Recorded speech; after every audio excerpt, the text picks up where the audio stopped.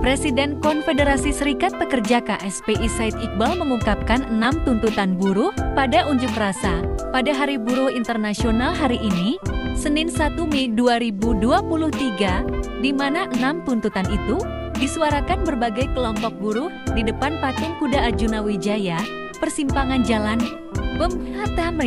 Aksi buruh kemudian dilanjutkan Maidai Vista, di Istora Senayan pada pukul 13 WIB hingga 17 WIB.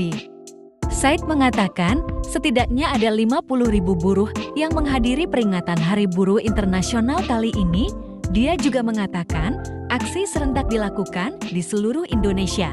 Dia menjelaskan ada enam tuntutan buruh yakni, cabut Omnibus Law, atau Undang-Undang Nomor 6 Tahun 2023 tentang Cipta Kerja, di mana menurut dia ada sembilan isu yang dipersoalkan mulai dari upah murah hingga mudah masuknya tenaga kerja asing.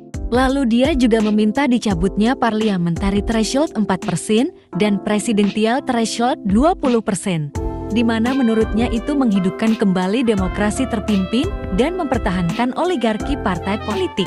Ketiga, dia juga meminta adanya perwujudan reforma agraria dan kedaulatan pangan. Dia menyoroti program food estate di Kalimantan Tengah dan Papua yang terbukti gagal. Keempat, dia meminta disahkannya RUU PPEUT Perlindungan Pekerja Rumah Tangga yang sudah 18 tahun namun belum juga disahkan.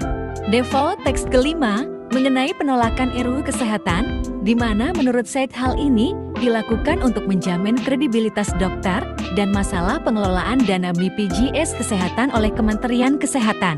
Dia juga menolak rencana pengelolaan dana BPJS Kesehatan yang akan diserahkan kepada Kementerian Kesehatan karena dana itu bukan murni APBN yang bisa dikelola setingkat menteri, melainkan dana iuran pekerja hingga pengusaha. Sehingga dia mengatakan, seharusnya BPJS Kesehatan seharusnya bertanggung jawab langsung di bawah Presiden, supaya ketika ada kejadian luar biasa, bisa ada jaminan dari APBN melalui keputusan Presiden.